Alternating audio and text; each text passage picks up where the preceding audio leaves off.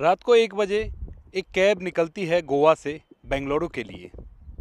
और बेंगलुरु से 200 किलोमीटर पहले, यानी कि गोवा और बेंगलुरु के बीच में 200 किलोमीटर पहले एक चित्रदुर्ग नाम की जगह पड़ती है। वहाँ पर जो कैब थी उसके अंदर एक महिला बैठी हुई थी। उसके साथ उसका कुछ सामान भी था।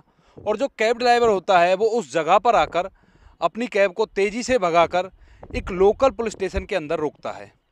रोकने के बाद गाड़ी से तेज़ी से उतरता है और उतरने के बाद वहाँ पर जो पुलिस वाले होते हैं, उनकी फ़ोन पर किसी और से बात कराने लगता है। आखिर कौन थी वह महिला और उस कैब ड्राइवर ने ऐसा क्यों किया और किससे उनकी पुलिस वालों की बात कराई? पूरी सच्चाई जानने के लिए वीडियो को अंत तक ज़रूर देखें। नमस्कार दोस्तों, मेरा नाम है जीतू सौरौत और आप लोग देख रहे हो तिरछी बात चैनल। वीडियो को ज़्यादा से ज़्यादा शेयर करें और पेज को फॉलो करना ना भूलें। आज की ये जो घटना है, ये स्टार्ट होती है बेंगलुरु से और जो घटित होती है वो होती है गोवा में। तो आप लोग कह सकते हो ये घटना निकल कर आ रही है गोवा से। तो ये कहानी है एक लड़की की, जिसका नाम होता है सूचना सेठ और जिसका जन्म होता है कोलकाता में आज से लगभग उनतालीस साल पहले। वो लड़की कोलकाता से अपनी पढ़ाई लिखाई करती है और पढ़ाई लिखाई में काफ़ी ज़्यादा होशियार होती है। यानी कि एक तरह से ब्रिलियंट माइंड आप लोग उसको कह सकते हो। और उसके बाद वो बेंगलुरु आती है और वहाँ पर आकर अपनी एक एआई कंपनी की शुरुआत करती है। यानी कि अपनी एक कंपनी बनाती है जो आर्टिफिशियल इंटेलिजेंस पे काम करती है। यानी कि पैसों की उसके पास कोई भी कमी नहीं थी और अच्छी तरह से अपने जीवन में वो पूरी तरह से सक्सेस थी। अब इस घटना में होता क्या है? कहानी स्टार्ट होती है 6 जनवरी से। 6 जनवरी 2024 की बात है। वो लड़की बेंगलुरु से गोवा आती है अपने चार साल के बेटे के साथ। घूमने के लिए। तो फ़्लाइट के ज़रिए वो अपने बेटे के साथ बेंगलुरु से गोवा आती है और गोवा के अंदर उसने पहले से ही एक होटल बुक किया हुआ था। उस होटल में जाकर वो चेक इन करती है, यानी कि वहाँ पर जाकर वो ठहर जाती है। अब उसके बाद उसका प्लान था कि दो तीन दिन इधर ही घूमना फिरना है, यानी कि गोवा के अंदर इधर उधर घूमने का उसका प्लान था, अपने बच्चे को घुमाने का उसका प्लान था। अब इसके बाद छः जनवरी के बाद सात जनवरी आती है। सात जनवरी को दोनों माँ बेटे गोवा के अंदर ही घूमने के लिए निकल जाते हैं। उसके बाद दोबारा होटल के अंदर आते हैं और फिर आठ जनवरी को भी इसी तरह से निकल जाते हैं और फिर दोबारा होटल के अंदर आते हैं। यानी कि आठ जनवरी की शाम को वो होटल के ही अंदर होते हैं। अब इसके बाद आठ जनवरी को रात को लगभग एक बजे जो वो लड़की होती है, सूचना सेठ वो रिसेप्शन पे फ़ोन करती है और फ़ोन करके बताती है कि मुझे अर्जेंट में एक कैब चाहिए बेंगलुरु जाने के लिए। तो उसके बाद जो रिसेप्शन पर वर्कर होते हैं, यानी कि रिसेप्शन वाले जो होते हैं, वो उनसे पूछते हैं कि आखिर जाना किसको है? तो जो लड़की होती है, वो बताती है कि मुझे ही जाना है और मैं बाई रोड ही जाऊँगी। उसके बाद होटल वाले सोचते हैं कि भाई गोवा से बेंगलुरु जाने का लगभग 500 साढ़े पाँच किलोमीटर का सफ़र है और इसमें जो कैब का खर्चा वो ज़्यादा आ जाएगा, आप फ़्लाइट से चले जाओ, उससे बताते हैं, उस औरत को ये चीज़ बताई जाती है। लेकिन वो औरत जिद पे अड़ जाती है और कहती है कि नहीं, मुझे बाई कैब ही जाना है, आप लोग मेरी एक कैब की अरेंजमेंट करा दीजिए। तो उसके बाद जो होटल के कर्मचारी होते हैं, वो एक लोकल कैब एजेंसी से बात करते हैं और वहाँ से एक कैब बुक करा दी जाती है गोवा से बेंगलुरु जाने के लिए। तो रात के लगभग एक बजे वह महिला उस होटल से चेकआउट करके उस कैब में बैठती है और उसके साथ में एक बड़ा सा सूटकेस था और कुछ सामान था। उन सभी को कैब में रखवाया जाता है होटल के कर्मचारियों के द्वारा। इसके बाद वो होटल के कर्मचारियों को टिप देती है और टिप देने के बाद उस कैब में बैठकर बेंगलुरु के लिए निकल जाती है। अब उसके बाद सुबह होती है और सुबह के टाइम में होटल में जितने भी गेस्ट ठहरे हुए होते हैं, वो घूमने फिरने के लिए इधर उधर निकल जाया करते हैं।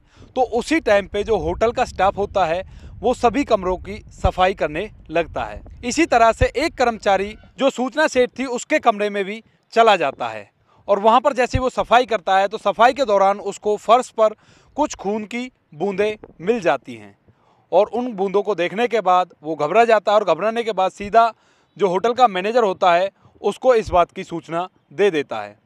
होटल का मैनेजर वहीं पे आता है और आने के बाद उन सभी चीज़ों को देखने के बाद सीधा पुलिस को फ़ोन करता है, यानी कि गोवा की जो पुलिस होती है, उसको सूचित करता है और उसके बाद पुलिस वहाँ पर आ जाती है। पुलिस आने के बाद पूछती है कि इस होटल से चेकआउट किसने किया था? तो उसके बाद जो होटल का स्टाफ होता है, वो पूरी की पूरी जो घटनाक्रम है, उसको बता देता है पुलिस को। वह बताते हैं कि इस तरह से यहाँ पर एक सूचना सेठ नाम की लड़की रुकी हुई थी और उसने अचानक से रात को एक बजे चेकआउट किया था। उसके बाद जो होटल वाले होते हैं, वो पुलिस को एक और अहम जानकारी देते हैं। वह लोग बताते हैं कि जब इस औरत ने चेक इन किया था तो तब उसके साथ एक बच्चा था, वो भी लगभग चार साल का। लेकिन जब चेक आउट किया था तो उसके साथ वो बच्चा नहीं था। इस बात को सुनने के बाद पुलिस का भी थोड़ा बहुत माथा ठनक जाता है और इसके बाद जो पुलिस होती है, वो सीसीटीवी की जो रिकॉर्डिंग है, उनको चेक करती है। चेक करने के दौरान उनको पता चलता है कि आठ तारीख की शाम को जब ये औरत इस होटल के अंदर आती है, यानी कि घूमने फिरने के बाद जब वह इस होटल के अंदर चेक इन करती है, आती है दोबारा से तो उस टाइम पे जो बच्चा था वो उसी के साथ था, लेकिन जब वो रात को एक बजे यहाँ से जाती है, उस टाइम पे वो बच्चा उनके साथ नहीं था। तो दोस्तों, इसके बाद वो पुलिस वाले उन होटल वालों से उस टैक्सी एजेंसी का नंबर लेते हैं और वहाँ से उस ड्राइवर का नंबर निकाला जाता है, जो कि उस कैब को लेकर बेंगलुरु जा रहा था। अब दोस्तों, इसके बाद जो पुलिस होती है, वो कैब ड्राइवर के पास फ़ोन करती है और उससे कहा जाता है कि जो तुम्हारी कैब के अंदर जो लेडी है, उनसे हमारी बात करवाइए। तो जो कैब वाला होता है, वो उस फ़ोन को, उस लड़की को पकड़ा देता है और उसके बाद उस लड़की से पुलिस वाले बात करते हैं और उसे पूछते हैं कि, मैडम, जब आपने इस होटल में कमरा लिया था तो तब आपके साथ एक छोटा सा बच्चा था, वो कहाँ पर है? दोस्तों, उसके बाद जो सूचना सेट है, वो पुलिस को बताती है कि जो मेरा लड़का है, वो मेरे ही किसी जानने वाले के पास मैंने छोड़ रखा है गोवा के अंदर ही। बाद में मैं जब आऊँगी, उसको अपने साथ ले जाऊँगी। तो उसके बाद पुलिस पूछती है कि उसका एड्रेस दीजिए। तो सूचना सेट जो है, वो बिना डरे एक एड्रेस पुलिस को लिखवा देती है। अब उसको देखने के बाद पुलिस वाले भी सोचते हैं कि शायद हमसे कोई गलती हो गई है और ऐसा नहीं है, हम बेवजह ही इस औरत के ऊपर शक कर रहे हैं।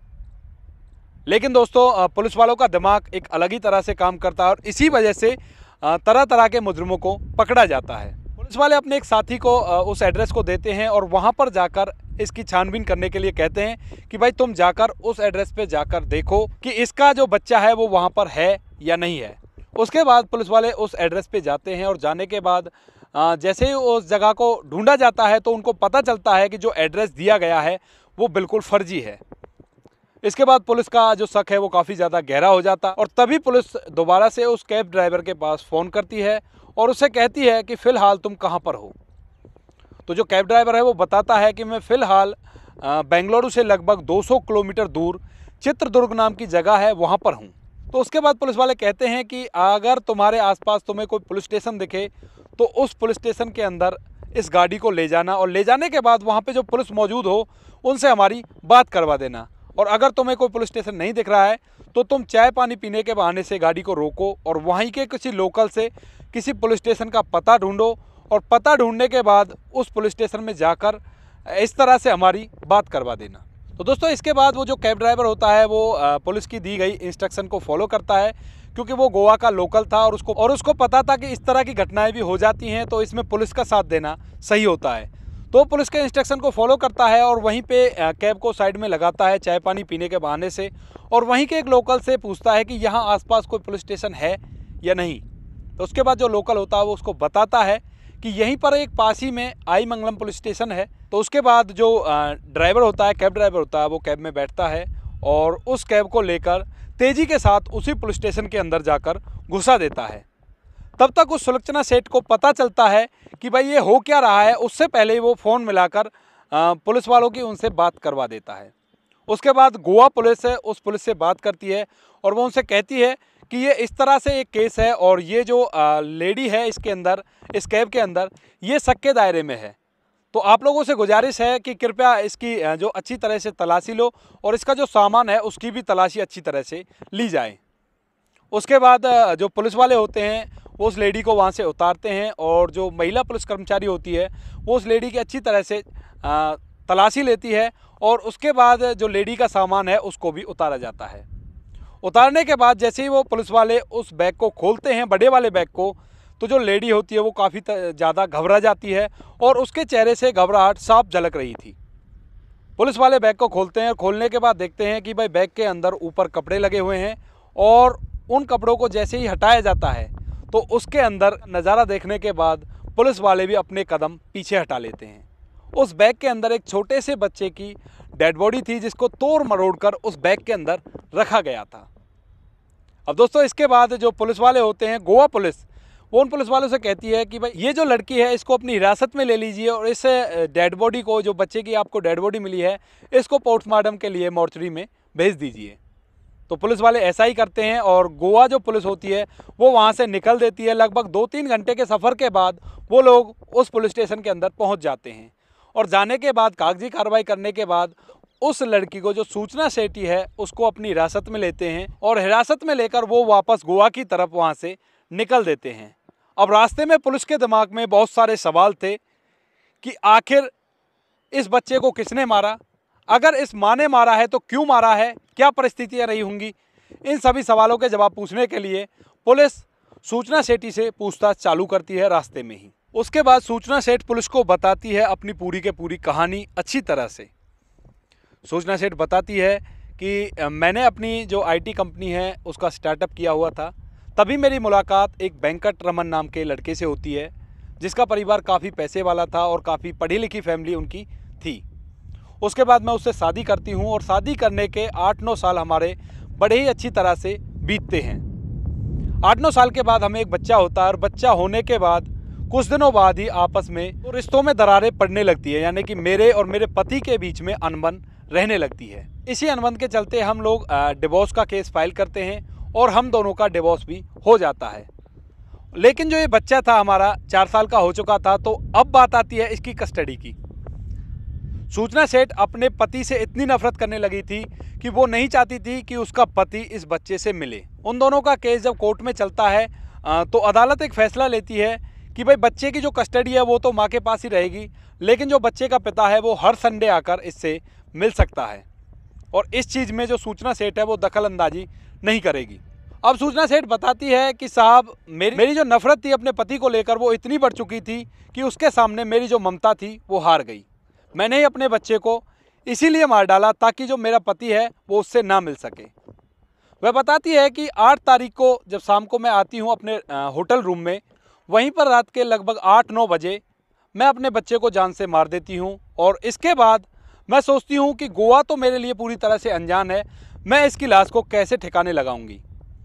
इसी कारण से मैं इस लाश को एक बैग के अंदर रखती हूँ और उसके ऊपर थोड़े से कपड़े रखती हूँ और कपड़े रखने के बाद रिसेप्शन पे फ़ोन करती हूँ कि भाई मुझे अर्जेंटली एक कैब चाहिए क्योंकि अगर मैं एरोप्लेन के ज़रिए जाती यानी कि हवाई जहाज़ के ज़रिए जाती तो आ, सामान की चेकिंग होती है और स्कैनिंग के दौरान ये पता चल जाता है कि इस बैग के अंदर एक डेड बॉडी है और मैं कोई गलत काम कर रही हूँ और मैं पकड़ी जाती। इसी वजह से मैंने कैब बुक की और कैब बुक करने के बाद मैं सीधा बेंगलुरु में जाकर इस बच्चे की डेड बॉडी को ठिकाने लगाने वाली थी। अब दोस्तों, इस घटना को सुनने के बाद आपका भी दिमाग हिल गया होगा। आखिर वो कैसी माँ होगी जो जरा सी नफरत को लेकर अपने ही बच्चे को इतनी बेरहमी से मौत के घाट उतार दिया उसने? कहाँ पर रह गई है इंसानियत? आखिर एक माँ ही अपने बच्चे की कातिल बन गई। एक कहावत है कि पूत कपूत सुने हैं जग में, ना माता सुनी कुमाता। लेकिन ये कलयुग है साहब, यहाँ पर माता भी कुमाता हो जाती है। इस कहानी के अंदर माता कुमाता हो गई, अपनी नफरत को लेकर अपने ही बच्चे को मौत के घाट उतार दिया। केवल इसलिए कि ताकि उसका पति उससे ना मिल सके। भला ऐसी भी क्या नफरत जो अपने ही बच्चे की मौत का कारण बन जाए? तो दोस्तों, ये कलयुग है, आप लोग सावधानी से रहें, सतर्कता से रहें और किसी भी रिश्ते में इतनी दरार ना पड़ने पाए कि ऐसा कुछ कांड हो जाए। बाकी दोस्तों, आपको वीडियो कैसा लगा और आप इस घटना के बारे में क्या कहना चाहते हो, आपकी राय कमेंट बॉक्स में लिख सकते हो, लोगों के साथ शेयर कर सकते हो। बाकी वीडियो अच्छा लगता है, वीडियो को लाइक और शेयर ज़रूर करें। मिलते हैं किसी नेक्स्ट वीडियो में नए टॉपिक के साथ, तब तक के लिए जय हिंद, जय भारत, जय हिंदुस्तान।